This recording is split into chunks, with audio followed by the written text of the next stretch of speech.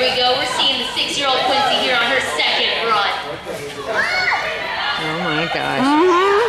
Oh yeah, all the way to the seven. Go, go, in. Get in. Keep going, keep going. Two hands. There you go. All the way. With the squirt, with the squirt. No, don't be.